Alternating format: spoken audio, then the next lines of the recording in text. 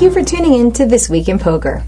The inaugural Caesars Palace Classic came to an end this week, and the champion is David Singer. Card Player was the exclusive media partner for the event. For videos from the tournament, check out the Tournament Trail channel right here on Card Player TV. Singer defeated a field of 287 players to claim the million dollar first place prize. Harrah's actually added over $100,000 to the prize pool so that the guaranteed million dollar first place prize would not skew the rest of the payouts. That means that Kido Pham earned almost half a million dollars for his second place finish, and the third place finisher, Scott Fishman, won just under a quarter of a million dollars. The U.S. Poker Bowl at the Palms Casino also finished up this week. Team Cincinnati came out on top of the event and claimed the first place prize of $600,000. Two players from Team Cincinnati made it to the final table, but it was Vinny Napolitano who took it down for his team. He defeated Alan Kessler, a member of Team St. Louis, that claimed the first ever U.S. Poker Bowl title. Of the 25 teams that began in the U.S. Poker Bowl, five were represented at the final table. Each team at the final table actually had two members present, with the exception of Team Hollywood. They had to rely solely on Brandon Adams, but unfortunately for him and his team, he finished in sixth place. The teams that finished in fifth through second place shared $100,000. The Asian Pacific Poker Tour has added a stop in China. The city of Macau will host the $2,500 buy-in Asia Poker Open on November 22nd. This will be the first ever real money to no limit hold'em tournament to take place in China. To guarantee yourself a seat, you can register in advance on PokerStars. The online poker giant is also hosting a plethora of satellites, which start at just $22.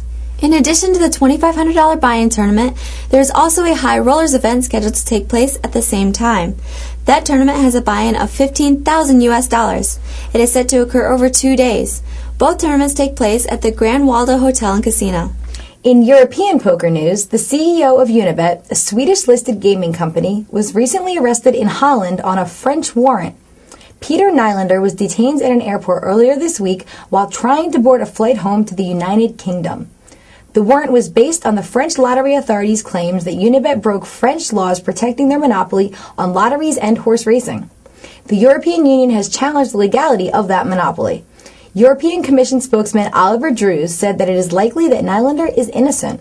A few American poker players will soon be en route to Europe for the Great British Poker Tour's Grand Final. The event begins on November 5th in Bristol, England and concludes on the 11th. Phil Laak, Jennifer Tilly, Antonio Esfandiari, Robert Williamson III, and Jamie Gold have all confirmed their participation in the 2,500 euro buy-in tournament. The winner of the event will get the lion's share of the estimated 500,000 euro prize pool and a seat into the Bellagio 5 Diamond World Poker Classic. Back here in the United States, the Commerce Casino's Holiday Bonus Tournament Series starts next week. There are 15 preliminary events leading up to the $2,500 buy-in championship tournament. The Holiday Bonus Tournament Series is an annual event for the Commerce Casino. They have been running it for 15 years now. If you want a chance to play but don't want to pay the buy-ins, satellites begin on Monday the 29th. On the other side of the country, the City Planning Board in Milford, New Hampshire recently approved a plan for a new poker room. New Hampshire Charitable Gaming, a company that already operates another poker room in the area, plans to use a space that has been empty for nearly 20 years. Poker rooms in the state of New Hampshire are legal as long as there are at least 35% of the profit is donated to charity. And that sums up This Week in Poker. I'm Lizzie Harrison. And I'm Kristy Arnett for Card Player TV.